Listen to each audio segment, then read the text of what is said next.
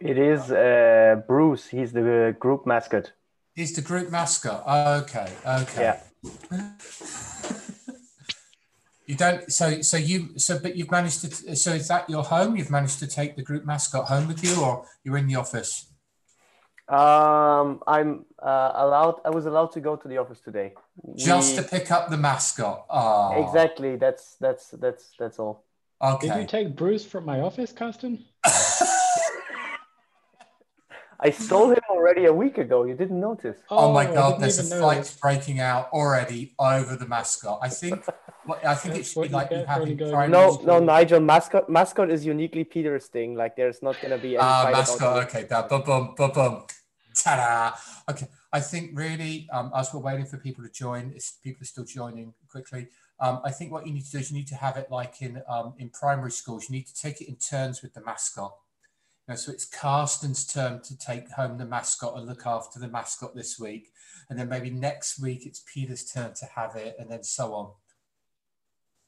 And you got to learn to look after it, yeah. So it's kind of part of your growing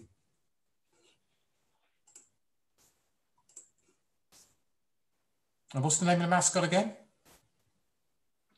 Bruce. Bruce.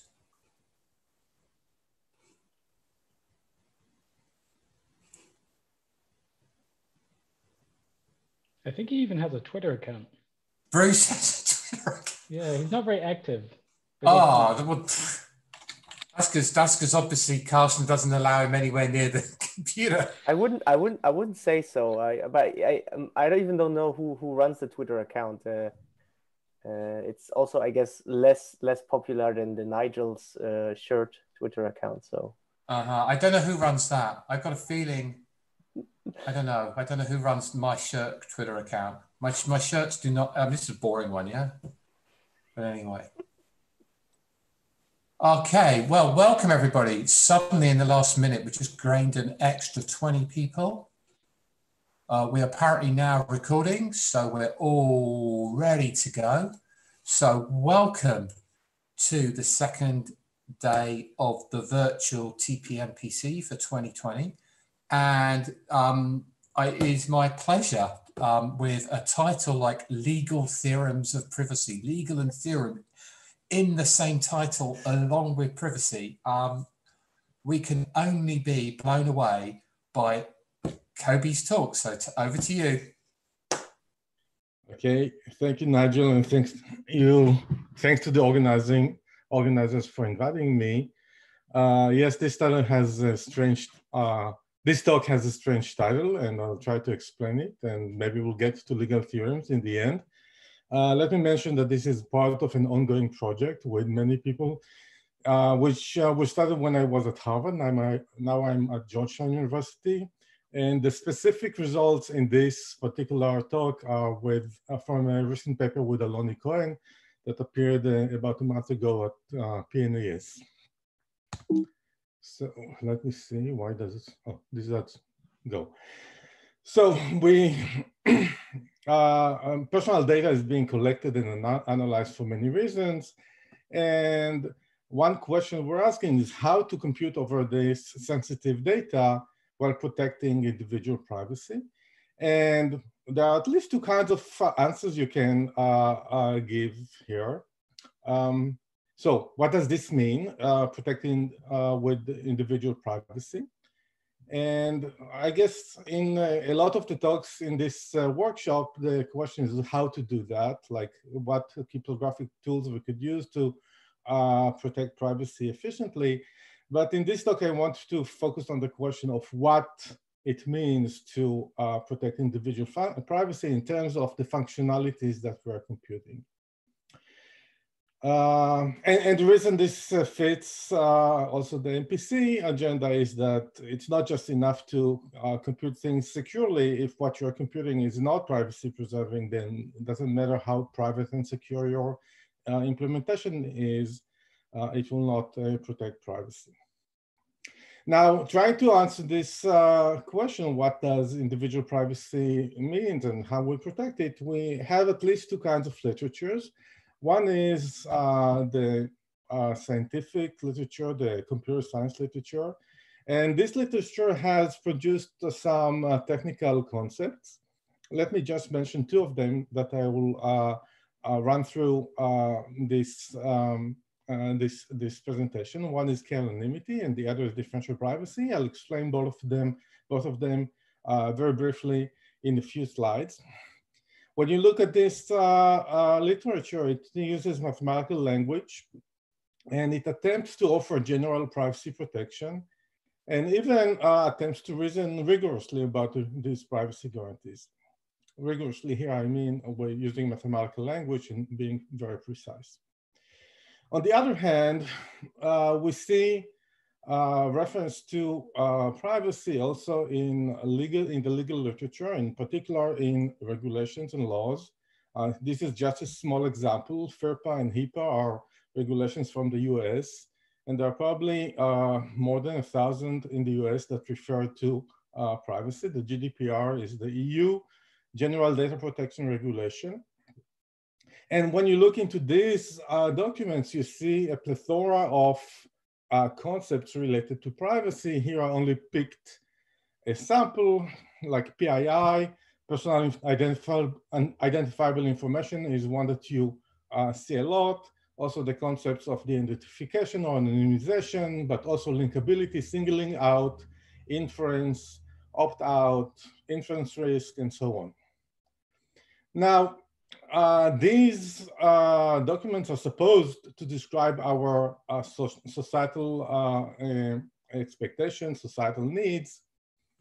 They are not formal from a mathematical standpoint. When you look at these uh, definitions, it's hard to figure out what the boundaries are. And sometimes they at least seem to be in disagreement with our current scientific knowledge. So kind of the privacy desiderata expressed in some of these documents is at least somewhat unrealistic. So trying to put these two pieces of the puzzle together, um, it's hard to fit them together. I don't know if you could see that animation. Um, and uh, this project is aimed at producing uh, a bridge between these uh, concepts, between the legal and, and the technical.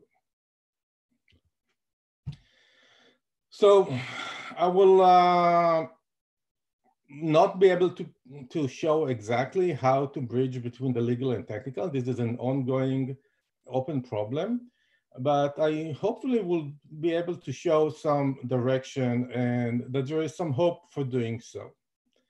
So in this talk, I'll begin with some very short background. I will present these two uh, notions that came from computer science, k-anonymity and differential privacy. I was personally involved in the development of differential privacy. Uh, then we'll move to this question of uh, computer science and privacy law. And we will look into an example. This is the recent work with Aloni Cohen, where we are trying to formalize a concept from the GDPR, which is called singling out. And we'll have some time for summary and question and hopefully also coffee. So let me begin with this example, which is an attack that Latanya Sweeney did in uh, about 20 years ago. Uh, she used uh, a data set that was published in Massachusetts. This is the Group Commission, Insurance Commission data set.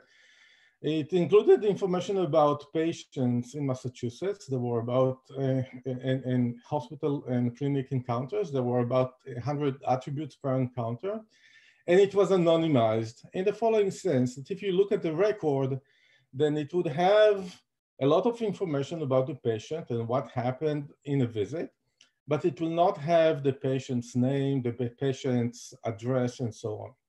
What you can see here is some information that is related to the patient's demographics, like the zip code, the birth date, and the sex. What Latanya did was she went and uh, got hold of the voter registration of Cambridge, Massachusetts. These are public records. They are available to every uh, everyone. I think she had to pay 30 bucks to, get that file. Uh, maybe today it's even, uh, uh, you can just get it on the internet. And if you look at the record in the voter registration, you see that this is not considered sensitive information. It just has uh, names, addresses, so you can identify people, uh, party affiliation, and in particular, this also includes the address, like the zip code, it has the birth date and the sex of, of these um, individuals. So when you join these two data sets together, there's a chance that you would uniquely identify some of the records in the JC data set. And this indeed happened. Uh, Sweeney was able to re-identify the medical records of the, uh, who was then the governor of uh, Massachusetts. She put them in an envelope and sent it to his home address. And so that was an attack that got a lot of, a lot of um, uh, publicity and rightfully. Uh, it demonstrated that um, anonymizing data naively just doesn't work. You can re-identify a lot of the data. So a concept that was introduced to counter that is k-anonymity. This is by Samarati and Sweeney. And in k-anonymity, you take a data set and you make it k-anonymous. And you achieve that by suppressing information so that you make every combination of what you would think would be potentially identifying attributes, every such combination should appear at least k times. So let me just show you an example. So this is a fake hospital data set uh, where you see names and addresses and social security numbers were erased, but they are still um, potentially identifying uh, uh, attributes here like zip code, age, and sex. And these are the attributes that uh, Sweeney used in her attack. But the disease is not considered identifying, so we are not going to uh, um, bother with it. And to uh, anonymize the data, in this case, I just to anonymize it, we suppress some of the information. Some of these operations are called generalization, doesn't matter for our purposes. But if you look here, you will see that the first and the last row have identical uh, quasi-identifiers, okay? So if my neighbor is from zip code 23456, uh, I know that he is one of these, uh, that one of these records is his, but I don't know whether he uh, had a heart disease or viral disease, okay? But people have then noticed that sometimes that does not really protect. In this case, uh, you cannot identify which row belongs to a person, but disease, the disease, the sensitive attribute is the same sensitive attribute, and this is called homogeneity attack.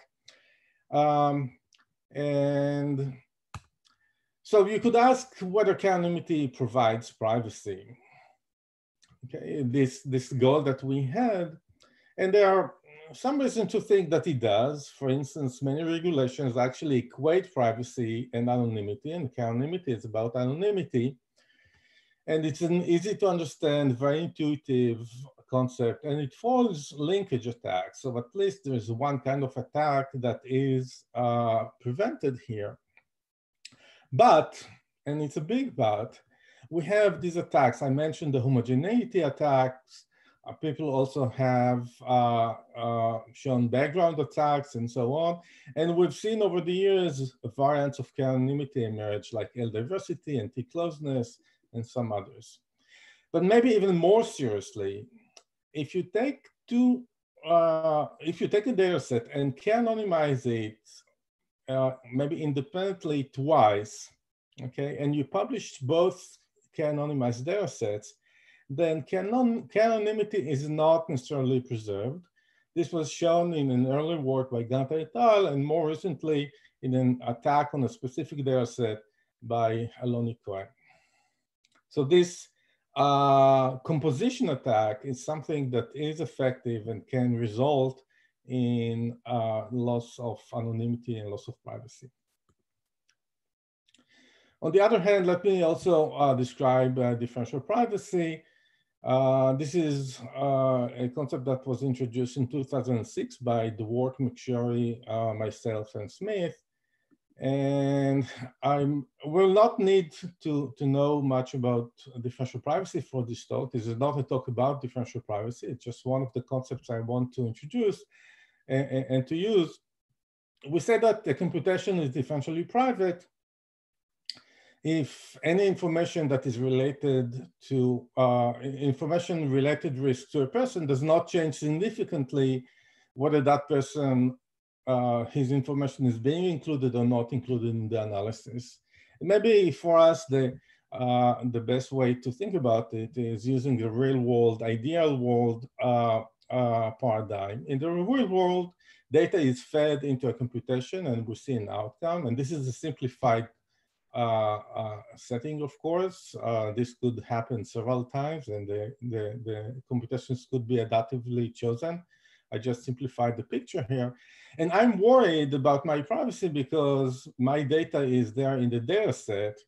So the computation could leak something about me into the outcome. In my ideal world, the same would happen with my data excluded. Okay, if my data is excluded from the data, uh, data set, then the computation cannot leak it into the outcome. And differential privacy requires that the outcomes, the outcome distributions in both cases would be similar, and we have these two parameters, epsilon and delta, that measure the similarity. Okay. Unfortunately, we cannot have negligible uh, difference between the distributions as this scales utility in the computation altogether. So kind of differential privacy or privacy forces us to think about um, computing, but when the error is not negligible. Okay, so a, epsilon has to be at, at least one over n actually. This is the difference between, uh, between the distributions. And this is the full uh, definition that again, I'm not going to need it, just that we see that we can write it uh, formally in mathematics. So we can um, ask this question again, as we asked about anonymity. Does differential privacy provide privacy? And you could say clearly it does because we have privacy in the, in the name of this concept as we had anonymity in the name of the other concept. But this is not so convincing. We could name it otherwise. Um, well, it is based on a well-accepted definitional paradigm in cryptography. So cryptographers, I think, feel more uh, uh, in, uh, confident about this concept. Uh, we can prove that it's robust to composition. So composition attacks don't um, apply to differential privacy, although the privacy guarantee deteriorates when you compose many analyses. And there is a growing acceptance, certainly in the computer science uh, community, but also uh, there are implementations by the US Census and the next census this year is supposed to use differential privacy computations, differentially private computations in, in its publications. And also Google, Apple, and Microsoft has, have implemented and used uh, differentially private computations in their systems. But if we try to match differential privacy with the legal concept, with the social desiderata, um, because differential privacy requires you to reason about math and probability. Uh, it's not very intuitive uh, and it's hard to understand by non-technical community. So we don't really have the sense, or it's hard to get a sense whether this concept actually provides the privacy that we seek in the um, legal uh, standards and also in, in the philosophical, ethical writing about privacy. So we're remaining with this question, whether anonymity and differential privacy provide privacy.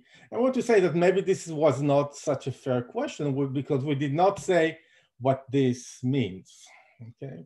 Uh, and without actually saying what we mean by real world privacy, by the societal uh, requirements, it's very hard to answer this question. So in the rest of the talk, I'm going to try to uh, take a, a, step towards answering this. And uh, by bridging between, uh, you know, technical and legal privacy concepts, I'll begin with some related work and then I'll run through an example. This is the uh, work with Aloni Cohen.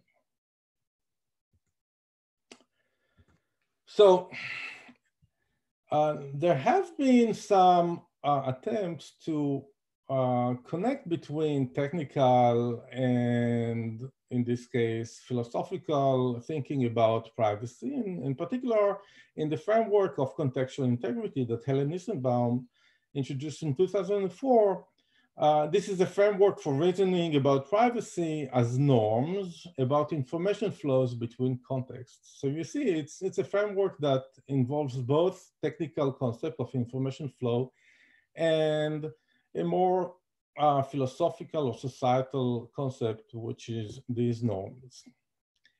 And there's been some work, uh, this is a paper by Barth et al. that uh, tried to take some of these principles from contextual integrity, the way that this framework helps or uh, reason about privacy, and to create a logic-based formalization of uh, privacy regulation from the from HIPAA, which is the Health Insurance Portability and Accountability Act in the US. In the US, so this is about uh, medical information.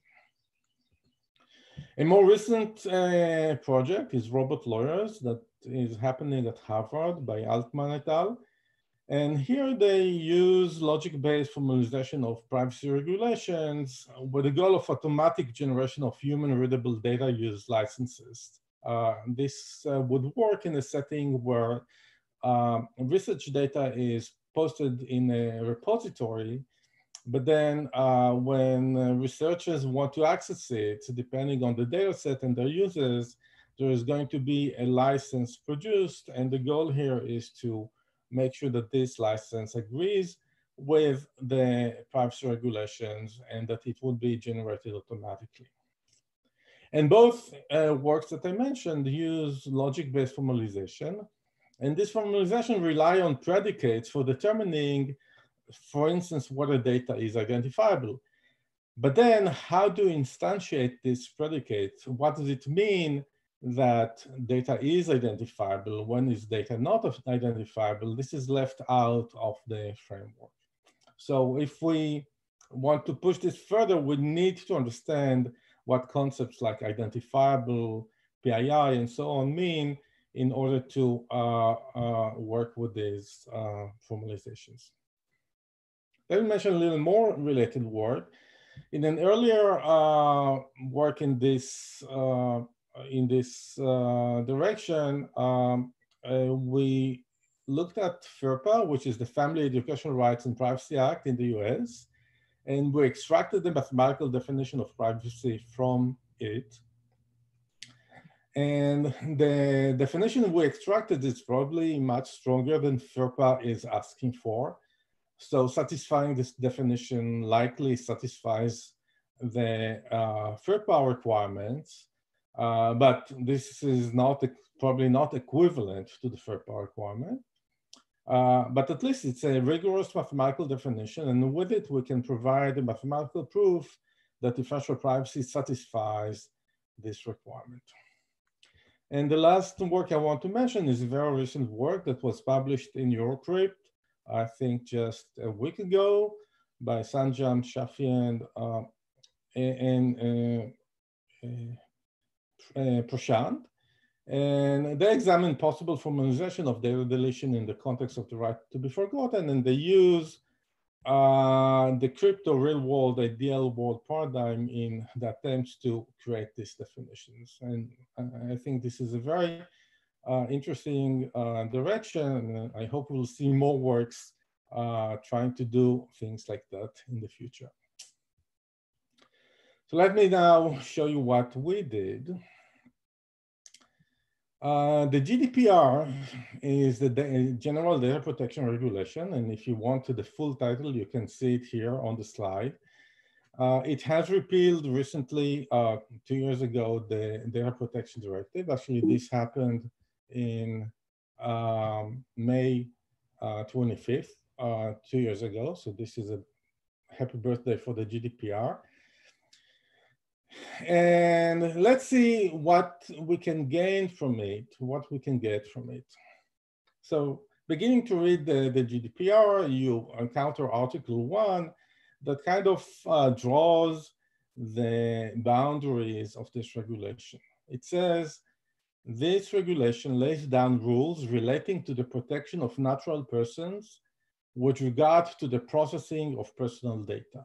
Okay, so the regulation protects natural persons. This is a concept that I'm not going to uh, delve on, uh, but they protect a natural person with regard to the processing of personal data. If you have, if you hold personal data, if you control personal data and you process it, then this regulation applies. You may ask what personal data is, and in Article 4 of the GDPR, uh, they say personal data means any information relating to an identified or identifiable natural person. An identifiable natural person is one who can be identified directly or indirectly. And I want to say that this is not so uh, unusual that you see definitions that seem to eat their tails, but still there is, there is something here that we can use we know that uh, we need to ask what um, uh, identified or identifiable natural person is in the data. Um, another part of the GDPR uh, is uh, a part that has recitals. They, these are uh, uh, kind of explanations of the articles, which are supposed to be more operative, if I understand correctly. And in uh, one of these recitals, recital 26 of the GDPR, they say, uh, they, they, they, they give us a hint. They say to determine whether a natural person is identifiable, account should be taken of all the means reasonably likely to be used, such as singling out to identify the natural person directly or indirectly. I want to say a few words about this.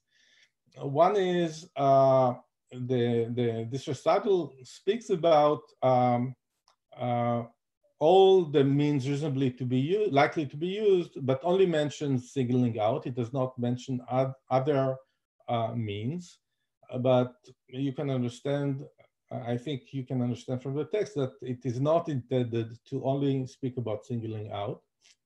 Another thing I want to say is that in the repeal data Protection Directive, there was also a similar recital 26 with very similar text, except that uh, the text in the GDPR specifically mentioned singling out, whereas the text in the data protection directive did not. So it seems that somebody thought that this is an important enough concept to include it in this definition in recital 26. But what we can so far learn, hence, is that if you can single out in your data, then this is identifiable and hence you hold personal data. Okay, so uh, understanding singling out will help us understand what personal data is, although this is not going to be a sufficient uh, uh, condition, just like a necessary one.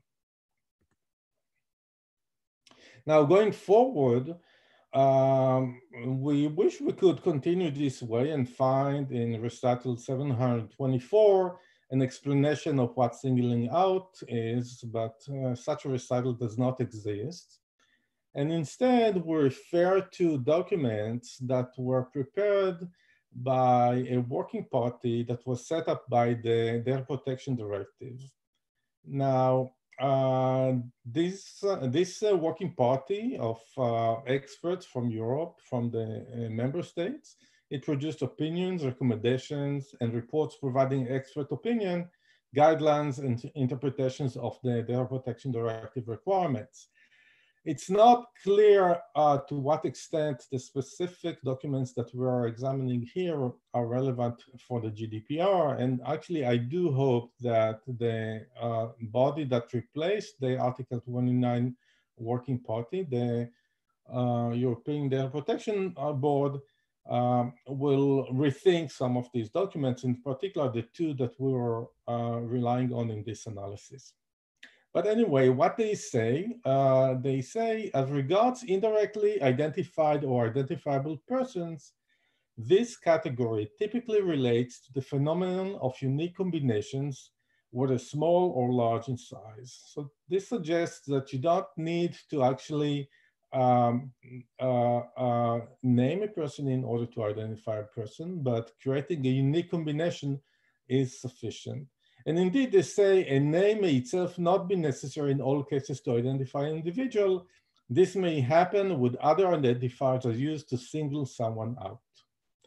So what we can understand from this is that using a unique combination of attributes of a person, you can single that person out in the data. In another document, the Article 29 Working Party examines um, several uh, technologies with respect to risks. You see that singling out is one of three risks that they uh, that they examine. They also look at linkability and inference. But we are going to focus on the left hand of this, uh, of this table. And on the left column, you see the different technologies. You see that with respect to, sorry, uh, they say that k-anonymity and similar L diversity, and for the for the purpose of this uh, presentation, they are in, uh, they are the same they ask whether singling out is still a risk, and they answer a definite no. Uh, with respect to differential privacy, they say may not. Okay, this may um, sound a bit strange to some of us that we think about differential privacy as a stronger concept with better math mathematical foundations than k-anonymity and L diversity. And but the working party was not so sure about the protection it gives you. You can see that it says may not throughout the, the row of differential privacy. We'll revisit this table later on. So we're set to uh, examine what singling out means, and we'll try to, to uh, start from the GDPR as we, as we did and come up with hopefully a mathematical formulation that we would trust, and hence we could trust, uh, we could check different uh, technologies with respect to this uh, mathematical definition. And here's a first trial. Uh, we found this in a paper by Francis et al. from 2018. And they suggested the singling out is what we call isolation. We say you single out if there's an exactly one person that has these attributes. Okay, let me give you an example. So let's say this is a fake Netflix data set with only three users and the movies that they've seen, okay? You can try to isolate in this data set. For instance, there's exactly one row in this data that uh, contains the movie The Sting, okay? So the person who saw The Sting is isolated in this data set. And similarly, the person who watched Mulan between February 19th and March 10th is isolated in this data set. And also, there's one person uh, does not satisfy any of these two uh, descriptions. So a third way to isolate in the data set. So we could ask whether single, singling out and isolation are indeed the same thing. Should we uh, take isolation as the definition for singling out? And to do that, let me introduce a simplified setting for the problem, okay? We'll have a data set and we will, we will assume that the data set is drawn IID from some distribution uh, capital D. Now, uh, coming from cryptography, I don't like this assumption so much. I would be happier if we did not um, uh, need to have an underlying distribution. We don't know how to do that. And I'm going to refer to this problem later on in the talk when we will talk about conclusions from our analysis. So the data set is going to be fed into some computation. We'll call it a mechanism or analysis. And this computation M is also supposed to anonymize the data, okay, to prevent singling out. So let Y be the published data Y will be used by a singling out adversary, and the adversary will output a description, or we'll use the term predicate, on the possible rows of the original data set. And the adversary would be successful if this predicate isolates in the data set, okay? That's the adversary's goal. And here's our definitional attempt. We would say that the mechanism M is secure against singling out if no adversary can isolate a row except with negligible probability over all the relevant randomness here. And this uh, seems uh, intuitive and, and, and appealing, except that when you examine it a little, you see that it's impossible to, to achieve, okay? Um, let me show you why. The reason is that you could isolate even without having any access to the data and to the published data Why? Okay, so let's remove this from the slide I claim that the singling out adversary A can still isolate with good probability. And just for an example, assume that X is a data set of 365 birth dates, okay? Then if the uh, adversary just chooses a data set born on October 23rd, then this actually uh, matches a one over 365 fraction of the universe uh, we expect that only one person in the data set will have uh, this, uh, in expectation, there will be one person in the data set that uh, was born on this date. And if you do the math, you see that the probability of isolation is about one over E, which is 37%. So even without getting any information about the data set and without the mechanism and its output, the singling out adversary uh, uh, succeeds with quite a high probability. And of course, this is something that we can uh, generalize. If you uh, can choose a predicate that matches about one over n fraction of the universe, then the probability of isolation is at least one over e, or at least 37%. Now you may be worried that uh, I use here properties of the distribution, and like I, uh, in this case, I knew that it's about birth dates, and uh, and this helped me create the predicate that matched one over n fraction of the universe. But maybe in general this is hard. But the answer no. Uh, we have tools. In particular, we can use the leftover hash lemma, and it suffices that the underlying distribution has moderate min entropy. It, it has to be has to have about log n uh, min entropy, and in that case, we can generate uh, um, the predicate. So unless we are talking about really a dull uh, distribution that is not even doesn't even have log n min entropy, uh, we can uh, quite easily isolate in the data set. So uh, isolation enough is insufficient, but but reading through uh, the, the, the, the legal uh, documents, it seems that the isolation fits intuitively what what they meant. So maybe we can try and and and and uh, modify this idea of isolation to get a concept that does make sense. Okay. So let's ask what makes an isolation non-trivial. We saw a trivial isolation. And intuitively, in this case, born at a certain day in the set of 365 birthday, this is a trivial kind of isolation. The attacker succeeds with high uh, probability, and this is doable even without access to the data. But if the attacker would succeed with much higher probability, let's say 99%, then this is something that is impossible to do without any, getting any access to the data. In this case, we could maybe blame the mechanism for the high uh, success rate, and that would be a non-trivial kind of isolation. And maybe even more interesting, if we have a predicate that is extremely, extremely unlikely, okay? And the attacker succeed even with a small probability, but not negligible, we would probably consider it non-trivial because we, with this description that is written here, we don't accept, expect that there would even be a person where, that satisfies this uh, description. Um, if the attack succeeds, that this is really non-trivial. Okay, so the conclusion of this very informal analysis on this slide is that if we have a significant improvement over some statistical baseline, and the baseline depends on rarity, then we can determine that the isolation is non-trivial.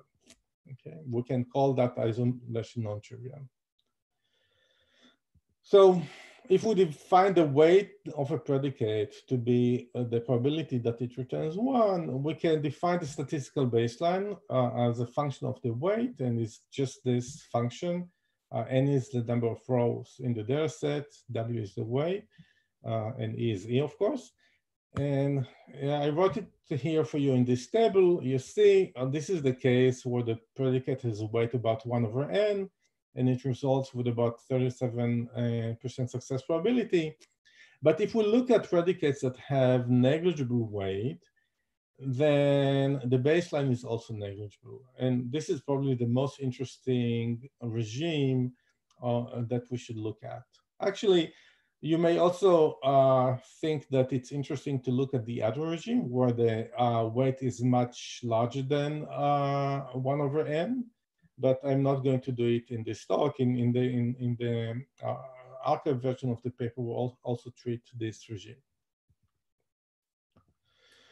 So now we're ready to make our definition. We call this predicate singling out to distinguish it from singling out, which is the concept that appears in the GDPR and also to allow others to uh, uh, suggest other variants of this singling out concept, and hopefully we could then compare them and choose the best one. Uh, we define the predicate singling out success probability uh, to be what is written here. That's a probability that um, the uh, that uh, the predicate P isolates uh, that, that, A, sorry, that the singling out adversary outputs a predicate P that isolates in the data set, but also the weight of this predicate is bounded by W, okay? And we are going to generally set W to be negligible, okay? So uh, this is the definition we're going to use. M, the mechanism M is predicate singling out secure. If for all negligible weights, the success remains negligible okay, the success with respect to any uh, adversary. But you could also have a more general and parameterized definition that again, I'm not going to use, so I'm not going to get uh, into details here. Let me give you an example for a mechanism that satisfies the definition. This is a simple counting mechanism. We have the data set X and M sharp Q for predicate Q counts how many elements in the data set satisfy this predicate, okay? Uh, here's a simple analysis showing that this is predicate single out secure. There are only uh, n plus one possible answers for this uh, mechanism, the, the value zero to n, okay? And the claim is that if we have a, a, an adversary that has high success probability, then the trivial adversary should also have high success probability. The reason is that the trivial adversary could just guess one of these n plus one possible answers, be correct with probability one over n. So the ratio between the success probabilities is about one over n. So this gives us that the success probability of our adversary A is at most n times the baseline, which remains negligible in this case. So this mechanism is predicate singling out secure. Another mechanism that we prove is predicate singling out secure is a mechanism where uh, we take the data set X, we apply a predicate Q to each of the elements. So Q of xi is a single bit, and we publish that. And this is also uh, PSO secure. One thing to note is that this definition is not the same as differential privacy. And in fact, differential privacy is not necessary for PSO security, uh, both mechanisms here are not differentially private because they are deterministic. And that cannot be, uh, and any differentially private mechanism is non-deterministic. Now that we have a definition, we can ask whether uh, this is a nice concept. We can ask whether, uh, in particular, whether it is uh, it, it self-composes. And in composition, we mean that we have L uh, mechanisms that are each individually PSO secure. If we look them at them as a joint mechanism, does uh, PSO security still, is it still preserved? And let me show very briefly this theorem that uh, uh, PSO security fails to self-compose, okay? And we're going to use our count queries here. This is my data set, and I assume that it was generated uniformly at random. I have n columns and l rows here. And I'm going to uh, create uh, L plus one counting mechanisms here. And in the following way, the first counting mechanism, I'm choosing for the first one, I'm choosing a predicate that has weight about one over n. So with probability about one over e, this identify this predicate actually identifies a row in the data set. So if I got a one there, I was successful the, if the count is, is one, and that would happen with 37%, uh, 37% of the time. Okay, if I was successful in doing that, then I can now uh, try to isolate uh, the entire row, actually to learn the value in the entire row. The, I will ask the following query. Uh, Q1 is uh, Q0, which identifies this row, and whether the first bit of this row is one, and so on. So I learned the first bit, the second bit, all the bits in the row, and I learned a super logarithmic number of bits here. So the, the, the weight of this predicate that I learned is negligible. This is the predicate that I'm going to output. So that's a successful isolation if I have access to this L plus one counting mechanisms. Uh, this suggests maybe that there is an inherent issue with the concept of singling out because counting queries are very common and natural and likely they would be allowed by any interpretation of the concept. And we can also show that if you take uh, that there exist two mechanisms that you put them together and composition uh, breaks and, and, and PSO security breaks, but I don't have time to go through that, so I'm going to skip this. Now we're back to this question, but you see that I substituted privacy for uh, GDP, uh, GDPR anonymity for privacy. So this is at least one aspect of the question, of whether can anonymity and differential privacy satisfy this regulatory requirement for privacy. With differential privacy, actually a simple theorem shows that yes, uh, differential privacy does protect against predicate singling out. Don't try reading all the uh, Greek letters on the screen. Um, the interesting part is that this is via a connection uh, to uh, the generalization properties of differential privacy, something that has been in research since this paper of uh, Dwork et al. in uh, STOC 2015 and we're using a variant of, of, of, of uh, these results in proving this theorem. With respect to k-anonymity, uh, we show that k-anonymity does not uh, protect against predicate singling out. And actually, typically, k-anonymity would help the adversary do the hard work in predicate singling out. So let's look at this data set and let's assume it was three anonymized. So every color here is corresponds to three records that have identical uh, pattern, okay? Um, now, because k-anonymizer tried, uh, so a simple observation is that the k-anonymizer actually, we can look at the description of a row as a predicate, and this predicate satisfies uh, is satisfied on uh, k over n elements or more in the data set.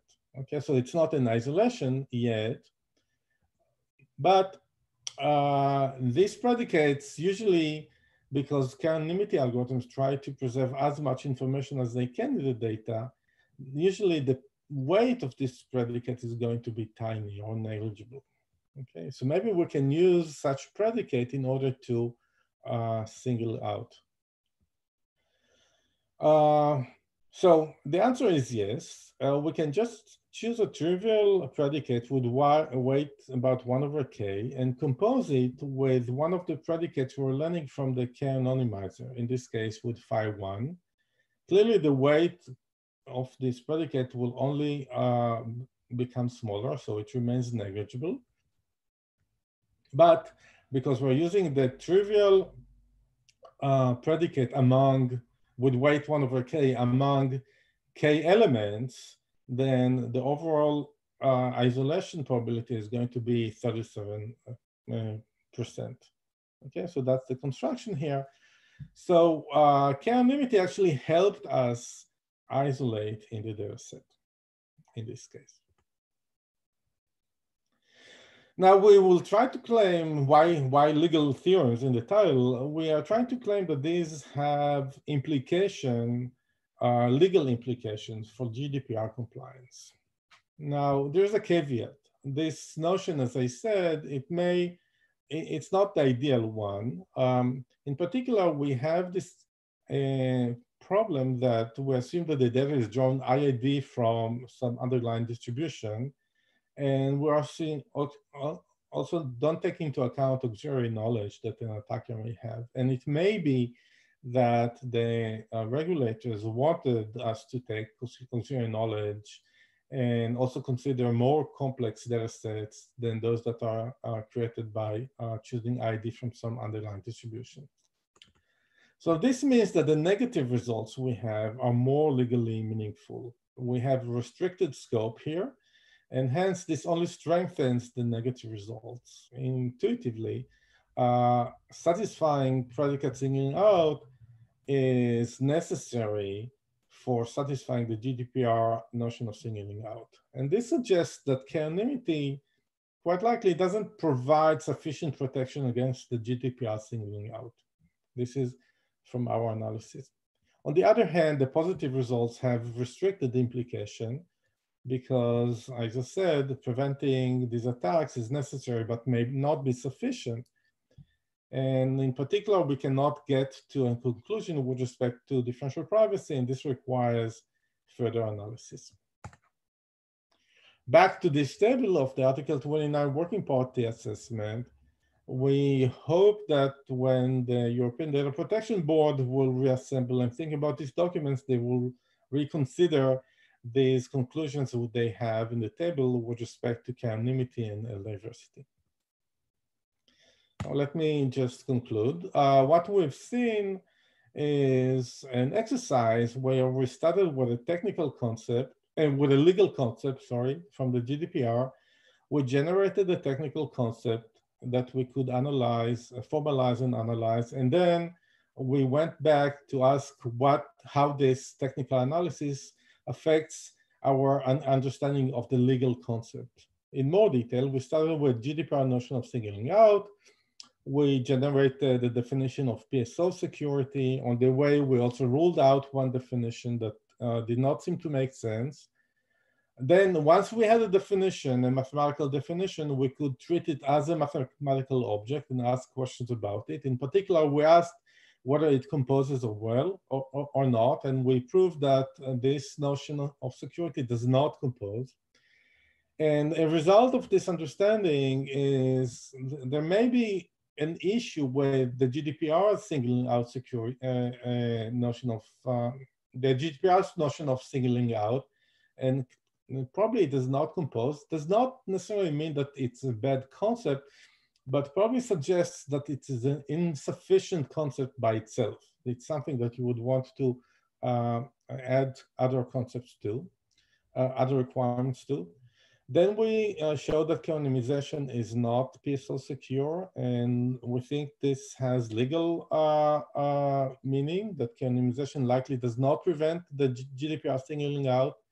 With differential privacy, it is uh, predicate out secure, it only gives some evidence that it does prevent the uh, GDPR singling out uh, requirement, uh, uh, prevent the, the, the, notion of singling out under the GDPR, but we still need to, uh, we, we need more work here. And it would be interesting if we can, as a next step, uh, begin with the definition of peer security and suggest to uh, uh, the uh, European Data Protection Board uh, how to write a legal concept of uh, singling out, which is based on our analysis. Let me just conclude with this slide and say we're not there yet. There's a lot of work to be done. In this work, we started from a legal concept and we formulated a technical concept. I think there's a lot to be done also in going in the other direction. And maybe the last word I want to say, the fact that we analyze the GDPR and concept in it does not mean that we uh, always endorse these concepts, but realize that these are concepts we have to live with and we need to find the best meaning for them uh, in order for this, for the GDPR and hopefully also other regulations to uh, uh, make sense and to bring us to a world where we have better personal privacy. Thank you. Okay, um, whilst we, oh, I'm yeah, I'm off mute. Um, we await to see if anyone types some uh, questions in. We've got about five minutes for questions until the next talk, um, if need be. Um, I've got some questions. So have you engaged with lawyers or people to, uh, to understand whether they want to adapt their definitions, especially like you said, that the this article 29, 29 I think it was, uh, needed to be updated. Have you talked to people who are doing that or not? So certainly uh, we have lawyers in the team uh, working on this, um, but uh, so far, uh, we have not, we had very little communication with uh, the European uh, authorities and lawyers in, in, in Europe with respect to this uh, project, but this is definitely an important next step for us um, to try to get to the right people with an explanation of these um, explanation of these results. We're currently also writing a paper which is much less technical and um, which tries to explain this approach in, in a way that I hope will be more accessible to uh, the legal readers. And I hope that will, you know, be, be a start starting point for a, a fruitful discussion with them. Okay you might want to uh, reach out. There's someone in, uh, I think UCL or Imperial, I can't remember. I'm checking up here, not, not sure which, called Michael Veale. And he yeah, does, talk, talk you've yeah. talked to him, so you know him. And he's then linked him with the um, European Commission, so he might be able to help you there. Okay, we have one question here. Um, from, this is a question from Amos Treiber. Um, is, um, the question is, in the legal documents that you examined, did you find further terms or concepts that, be, that could be connected to other crypto techniques like MPC, MPC, or do these techniques and legal concepts just seem too different? That's a great question. Uh, so uh, we were also starting to look at concepts related to distribution and MPC. Um, in the specific documents that I've looked at so far, there hasn't been much uh, with respect to this. Uh, like uh, distribution definitely raises a lot of questions that have not been directly um, treated in the legal um, in the legal literature. For instance, uh, questions of who holds the data, who owns the data, and so on. Um, and I think it's going to be a fascinating uh, question to look at and try to answer um, how, how, how to how to bridge between uh, the concepts or whether uh, hopefully there are some in, in the legal world that, that, that would shed light on this. And also maybe a place where we as a community could work together and think how we suggest the right concepts for the legal uh, community to include in, in, in, the regulations. Cool. Okay, I think that's all the questions. So let's um, thank Kobbi again. Round of applause from virtual people. Okay, and